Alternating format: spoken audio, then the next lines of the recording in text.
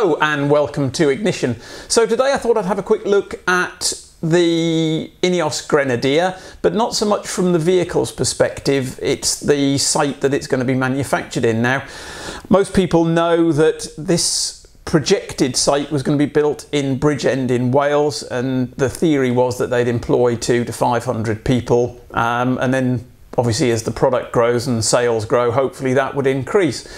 The unfortunate thing that seems to be pretty factual now is that Ineos have done a deal with Mercedes to take over all or part of its site in Hambach, which is in eastern France. It's this massive site here. So I, I can't imagine they're going to take over the whole thing, but as I say, what do I know?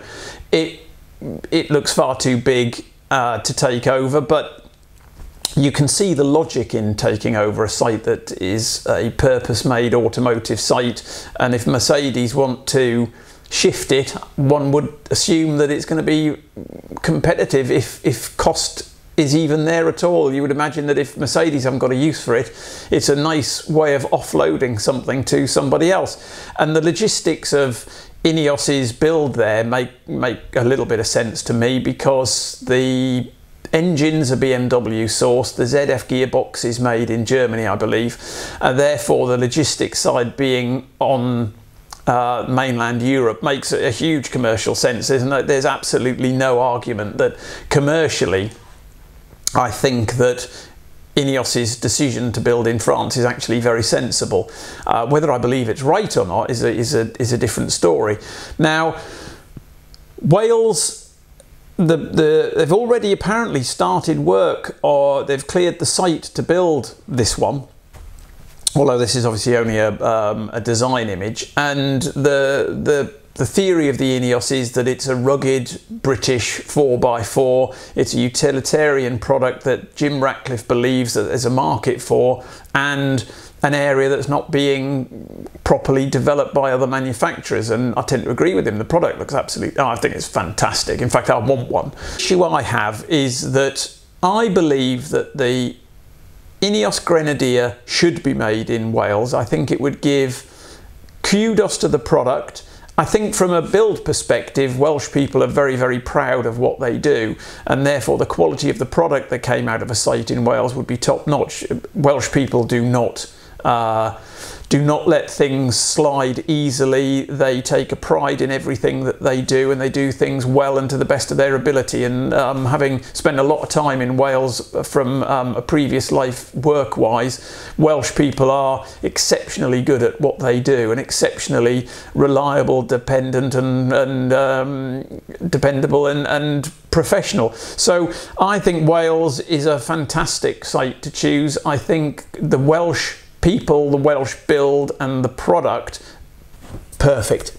Perfect. So I think it would help the product, not only from the build point of view, I just think having that British heritage on it and the name, allegedly this was all thought up in the, the, the, Grenadier pub and as he's posing outside I have no reasons to suspect that that isn't the case. So to me almost it has to be built there. But if we if we look at the Land Rover Defender that's being built in a plant in Nitra Slovakia. Now again the the the the, the focus that JLR have put over there, they've got a seven and a half million pound training academy. They've taken the unemployment rate from 11.2% in the area to 2.1, the lowest in any Slovakian region. They employ 2,800 people, and that shows you what an automotive company can do in your backyard. So from Boris's perspective, he's running the company, country, company, country, same thing really, and my wife tells me that um, the UK government are paying people £10 to go out to dinner to get the, the whole thing back from the virus. That's insane. Um, I'm not uh, qualified or intelligent enough to run a country, and I'm first to put my hand up and say that I'm not. But I, I wouldn't be paying anyone to go out for dinner.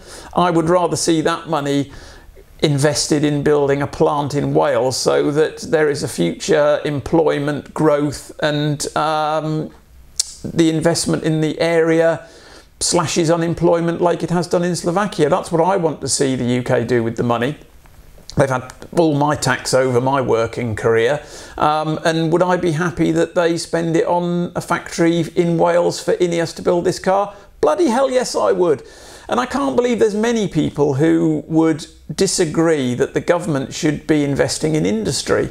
The country is a small island, the UK is a small island, overpopulated with very little manufacturing left. And as someone who drove around the countryside looking for manufacturing companies to sell to, I know how many massive factories are empty and how many people can't do a manufacturing job anymore because the businesses aren't there. So it's time the UK understood that other than China, I don't think there's many people setting up car manufacturing businesses in, on this planet, and potentially it would be nice to see it in Wales. So the only thing that's that's positive is Aston Martin. Actually, they've built a factory. They've taken over a Ministry of Defence site again in South Wales, and they've converted it in St Athan, uh, and it's a 98 acre site and they're going to be building the DBX there, their new sort of SUV, and allegedly 80% of those will be exported out the country. That's just what you want to hear, isn't it? And for Boris to miss the opportunity, or not him, the government, he's the focal point, the government and the Secretary of State and the Employment Secretary and whoever else is involved sitting around uh, discussing what the country does, do not let Sir Jim Ratcliffe move the manufacturing site to France. Make sure that that's built in the UK. Everybody wants to see it built in the UK. I've seen reviews from people in South Africa. They want it built in the UK. So step in, whatever it costs, get that factory built in Wales. If the taxpayer has to dig into its pocket deep, then let's do it. It's better than um, paying me to go and have a pizza. So uh, that is where I am on it. Whether you agree, I, I can't imagine there's many people who disagree that, that that product needs to be built in the UK. I can't. But if you do, slag me off in the uh, comments below.